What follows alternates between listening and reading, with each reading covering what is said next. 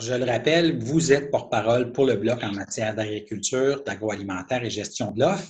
Récemment, là, au début juillet, le nouvel accord de libre-échange nord-américain est entré en vigueur. Avec cet accord, il y a de nouvelles brèches dans la gestion de l'offre qui ont été faites et les producteurs agricoles attendent encore du fédéral certaines compensations. Il n'y a pas les pleines compensations qui ont été euh, versées. Vous allez revenir à la charge encore euh, à ce sujet? Absolument. Vous, faites sûrement référence au communiqué qu'on a publié là, euh, récemment, d'ailleurs, à cet effet-là, la semaine dernière, euh, pour relancer, parce que là, c'est beau la COVID, la période de crise, au départ, c'était comme un prétexte pour mettre rapidement un paquet de mesures en place. Puis là, tout d'un coup, ça s'est transformé, cette crise-là, en prétexte pour ne rien faire. C'est comme, ah oui, mais là, on a la crise. Écoutez, en mars, avril, on pouvait comprendre qu'on était en pleine crise et qu'on n'avait pas le temps de traiter les dossiers de compensation, mais ces dossiers-là datent d'il y a longtemps, ils sont déjà chiffrés, il y a des ententes qui sont intervenues. Je pense qu'on peut agir. On a été capable d'en faire une coupe de chèques pendant la crise. Là? On doit être encore capable. Et ça, c'est des engagements. Puis notre secteur agricole, les gens, faut, faut pas l'oublier, c'est la base de notre société. Hein. C'est eux qui nous nourrissent. Et notre système de gestion de l'offre a prouvé encore pendant la crise son efficacité. Parce que ça a pris, euh, oui, il y a eu du lait de jeté, d'accord, mais ça a, ça pris un mois, les, producteurs s'étaient ajustés. Et en plus, là, on a augmenté la, capacité de crédit de la Commission canadienne du lait. Ça a pris plus de temps que je l'aurais souhaité, mais à force de faire pression, on a réussi à l'obtenir. Dans l'avenir, on a un outil supplémentaire. Donc, les compensations, pour revenir au, sujet, euh, c'est chiffré. Donc, les producteurs laitiers ont eu un premier chèque l'an dernier puis en début d'année cette année. On veut le versement des années subséquentes maintenant il n'y a pas de négociation à y avoir, il n'y a pas de discussion. Moi, quand la ministre me répond, on y travaille fort, notre engagement est ferme, je m'excuse, là, mais le travail est fait. Il reste à signer le chèque. On va le faire là. Pour ce qui est des autres productions, parce qu'il y a d'autres productions sous gestion de l'offre qui ont été sacrifiées. Je parle des œufs euh, d'incubation, les œufs, de, consommation, je parle du poulet, je parle du dindon. Donc, toutes ces productions-là n'ont rien encore. Et ces productions-là, c'est un peu différent parce que ce qu'ils demandent, c'est des programmes d'innovation et de modernisation à la ferme. Donc, chaque industrie a identifié ses besoins. Entre autres, dans le dindon, euh, ils ont besoin aussi d'aide au niveau de la mise en marché et de la, valorisation du produit. C'est correct, c'est la base qui connaît son besoin. mais ça, ça a été chiffré là, au niveau des sommes. Ils ont eu des ententes au mois d'août 2019 ils ont réussi à chiffrer avec le gouvernement fédéral. Ou 2019. On approche mi-juillet 2020. Il n'y a rien. Oui, il y a une crise, mettons, mais là, il est temps qu'on bouge. Et ces gens-là commencent à avoir peur. Ils commencent à avoir peur parce que ce n'est pas la première fois qu'on leur fait des promesses. Et ça n'a pas toujours été respecté. Hein? Avant la négociation de l'accord du partenariat transpacifique, avant la négociation de l'accord avec l'Europe, et avant la négociation de l'accord avec les États-Unis, on leur a promis les trois fois qu'on ne toucherait pas au secteur de la gestion de l'offre. Et les trois fois, on est allé amputer dedans. C'est pour ça que nous, on a un projet de loi pour protéger ça à l'avenir. Mais là, il faut faire avec le passé. Puis les concessions, ils ont été faites. On a promis des compensations. On les veut. Puis on les veut maintenant un peu comme vous avez dit tantôt, c'est bien beau la crise, mais il faut agir. là. C'est bien beau les communiquer, mais au-delà du communiqué, là, vous allez interpeller à nouveau la ministre en charge? Absolument, moi, je, ouais, absolument. on est en communication constante. Vous savez, euh, il y a une partie publique qui est la Chambre. Il y a beaucoup, beaucoup de coulisses qui se déroulent. On a des, communications constantes. Euh, encore euh, cette semaine, je recevais une communication des, des, des producteurs sous gestion d'offres, justement, qui me sollicitaient une nouvelle rencontre. On va se revoir. on maintient le contact, on maintient la pression, on fait, on fait tout ce qu'on peut faire dans le contexte actuel. Et à chaque fois, je me fais répondre que les engagements sont fermes et qu'il n'y a pas d'inquiétude à y avoir. Mais nous, on veut que ça bouge. Au cours des derniers jours, j'ai réalisé une entrevue avec le PDG du Conseil des industriels laitiers du Québec, Charles Langlois. Vous avez certainement entendu parler de la nouvelle application qu'ils ont mis de l'avant pour euh, découvrir, faire découvrir les fromages du Québec. Et il faisait valoir qu'il n'y a pas que les producteurs de lait qui attendent des compensations, les transformateurs aussi. Et si les transformateurs subissent les contre-coups des divers accords de libre-échange, l'Asie, l'Europe avec les Américains, et qu'une partie d'entre eux disparaissent de ces transformateurs-là, c'est des débouchés pour les producteurs laitiers du Québec qui peuvent disparaître. Alors, est-ce que vous allez aussi interpeller le gouvernement Trudeau pour qu'il pense? Absolument. Puis, tantôt, quand c'est une bonne chose que vous m'en parliez, parce que je viens de vous mentionner le travail de coulisses qu'on peut faire. Entre autres, il y a eu l'attribution des quotas d'importation. Vous savez, les pourcentages euh, qu'on a donnés dans les nouvelles ententes. Quand il y a eu l'entente avec l'Europe, on a fait l'erreur de donner 55% des quotas d'importation parce que quand on ouvre le marché, là, pour, pour essayer de rendre ça plus simple, quand on ouvre le marché à l'extérieur, il faut qu'il y ait quelqu'un au Canada qui importe des produits. On a le choix, que ce soit les distributeurs, donc les commerçants, ou les transformateurs. Si un transformateur doit importer des produits de l'extérieur, le transformateur, il ne va pas, il va pas euh, s'auto-nuire. Là. Mmh. Lui, il va importer un produit qui va être complémentaire à ses produits. Il va respecter l'entente, mais il va donner une richesse supplémentaire aux consommateurs parce que c'est des produits qu'on n'a pas.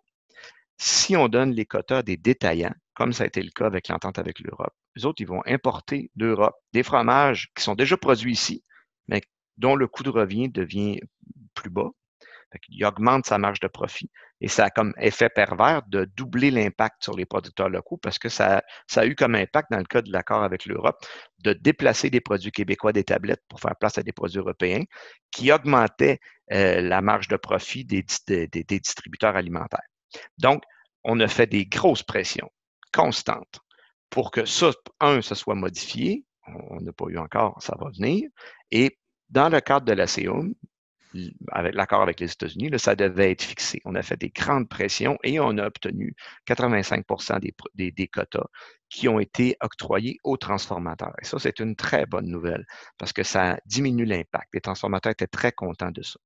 Mais euh, ça, ça fait partie des choses qu'on peut obtenir. Et d'ailleurs, le fait de leur avoir donné ça, ça rend euh, au niveau des compensations, ça, rend la pression moins forte. Mais oui, effectivement, il y a aussi des compensations qui doivent être versées là. Et ça fait partie de nos discussions. Un autre sujet, encore une fois, relié à l'agriculture, votre, euh, votre domaine euh, dans lequel vous êtes porte-parole, il y a une véritable crise qui s'annonce avec la chaleur et le peu de précipitations qui est lié à la production de foin. Le foin risque d'être rare cette année et très cher, ce qui peut avoir, encore une fois, des impacts sur plusieurs types de production. Il y a même des producteurs euh, laitiers qui songent à réduire la grosseur de leurs troupeaux à cause de ça. Est-ce qu'il y a quelque chose que le gouvernement fédéral pourrait faire pour aider dans une situation comme ça? En fait, on parle d'une saison exceptionnelle de sécheresse et de grande chaleur.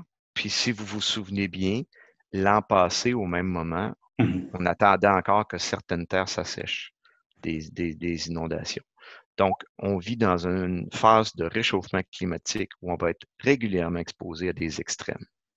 Euh, oui, le contexte est très difficile. Moi, je prévois une inflation euh, du panier des aliments à l'automne, c'est clair parce que j'ai d'ailleurs ce matin, je parlais avec des producteurs de la circonscription qui déjà achètent du foin en Ontario, pour vous donner une idée. Donc, euh, c'est clair, c'est clair que c'est très difficile.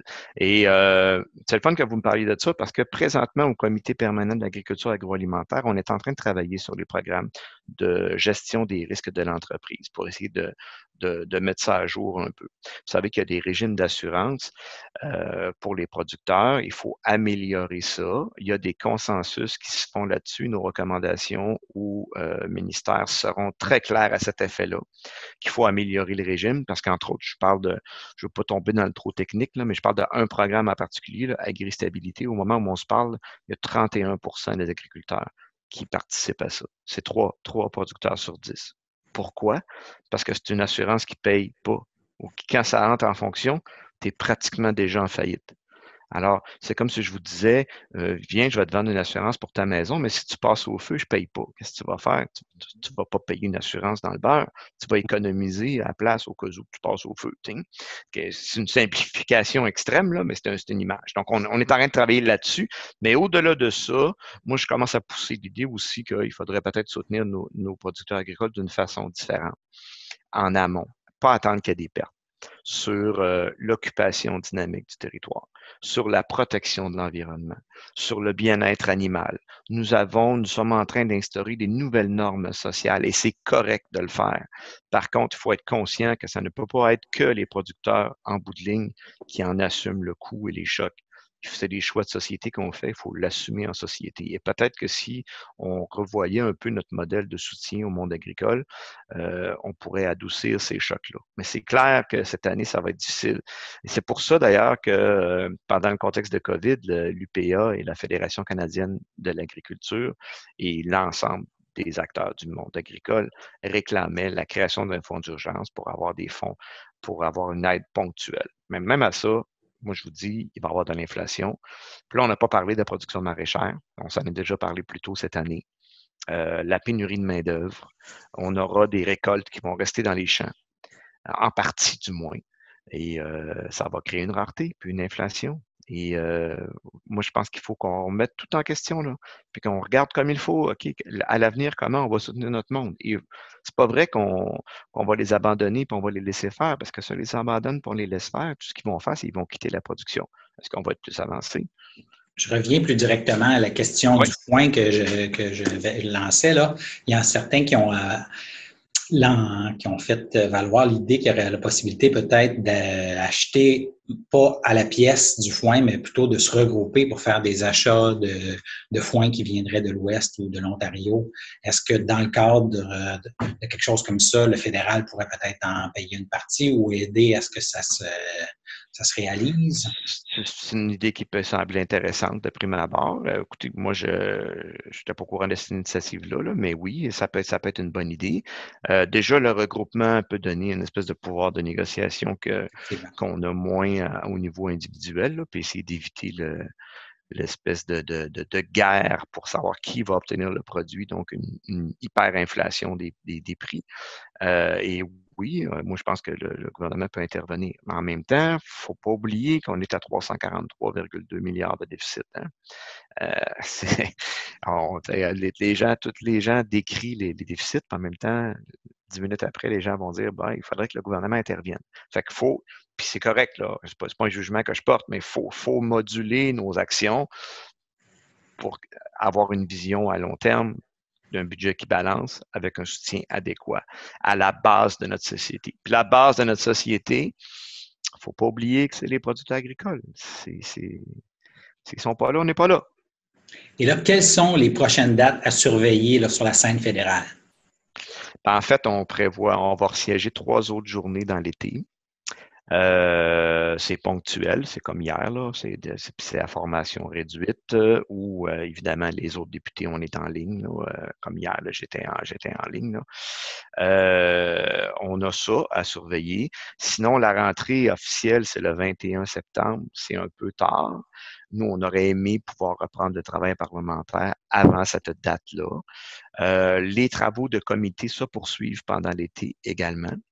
Euh, nous, là, je vous parlais tantôt de notre rapport, entre autres, au comité sur l'agriculture et l'agroalimentaire. Euh, on a euh, établi les grandes lignes de l'ébauche hier et on devrait déposer ça à l'automne. on surveille la, situation pendant l'été. On va essayer d'être présent dans nos circonscriptions pendant l'été aussi. Vous savez qu'il y a beaucoup de cas de comté, beaucoup de situations locales qui ont été laissées un peu de côté pendant l'hiver à cause de la COVID. On a beaucoup de, de dossiers d'empilés sur le coin du bureau qu'il faut traiter. on, peut être, on, risque d'être assez présent tout en essayant de se prendre quelques semaines de repos, évidemment, là, pour euh, charger les batteries pour repartir ça à fond. Il n'y a pas d'autres grosses dates comme là, la mise à jour économique à, surveiller là, euh, dans les prochaines semaines? On n'a pas d'annonce. C'est relativement tranquille, quoi qu'on ne sait jamais, d'ici septembre. Voilà, la politique, ça peut parfois sembler tranquille, mais c'est euh, rempli de rebondissements et de surprises. Alors, restons à l'affût.